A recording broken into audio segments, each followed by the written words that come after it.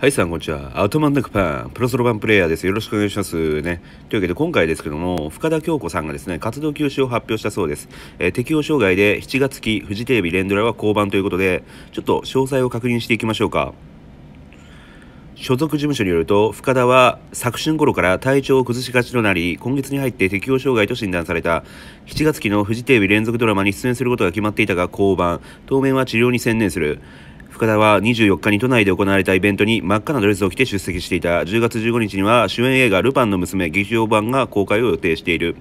ということでねあの適応障害っていう病名ねあの、僕もね、あの、実はかかったことありまして、これあの、会社に勤めてる時になったんですけど、会社辞めた瞬間に治りましたわ。はい。というわけでね、えー、もしね、深田京子さん、あまあ、深きょんね、あの、嫌なこととかね、あったらね、ぜひね、逃げてもらって、えー、また別の分野あ、もしくは別の環境で、あの、再挑戦していただけたらと思います。えー、僕もなんだかんだ会社辞めてから、